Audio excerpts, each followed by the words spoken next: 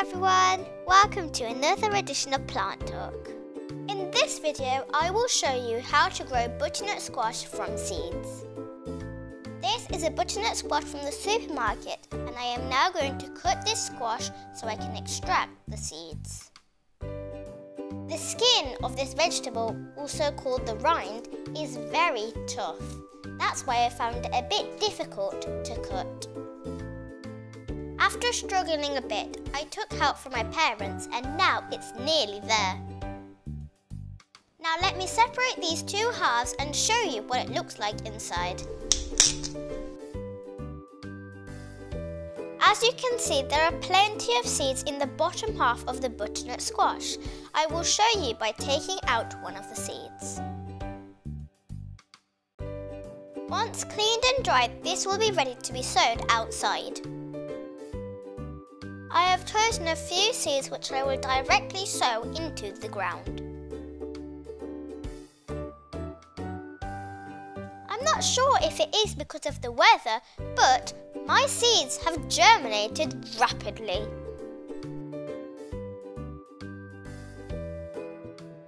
I have noticed that as my vines are growing, they look similar to the pumpkin and courgette. This is because butternut squashes belong to the same family the cucurbita variety.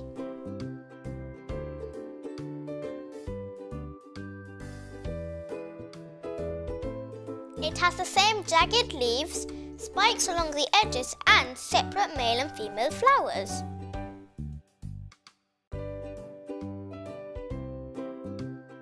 The male flower has a long and straight stem, meanwhile the female flower has a fruit under the flower and it looks like a mini butternut squash. Unlike my experience with pumpkins and courgettes, it is nice to see male and female flowers appearing at once.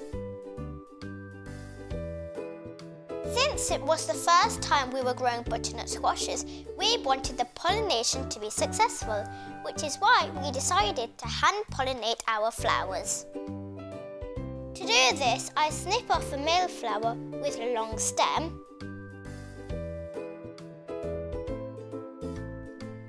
carefully remove the petals and gently transfer the pollen from the male flower to the female flower. Over a period of a week, I hand pollinated three female flowers flowers are pollinated, the flower will dry out and the fruit will grow bigger and bigger. In order to protect the fruit from being damaged, we decided to put cardboard under the fruit. Here's an interesting fact. Did you know butternut squashes are classified as a vegetable, whereas the pumpkin is classified as a fruit? This is despite them being in the same family.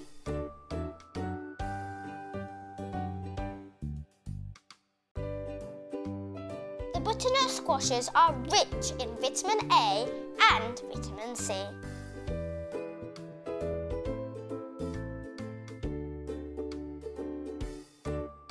The supermarket or greengrocers only sell matured butternut squashes like this one.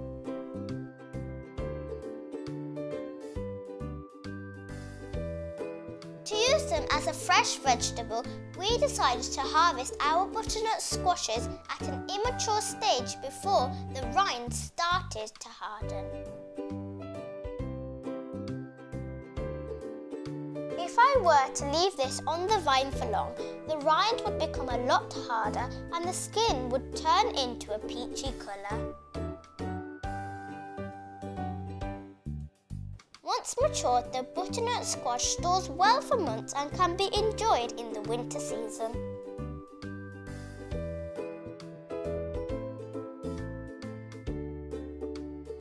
So I have harvested all of the butternut squashes and it looks good.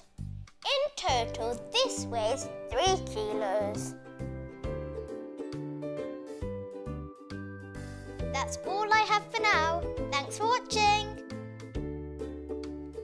forget to hit the subscribe button, press like and share this video. Bye!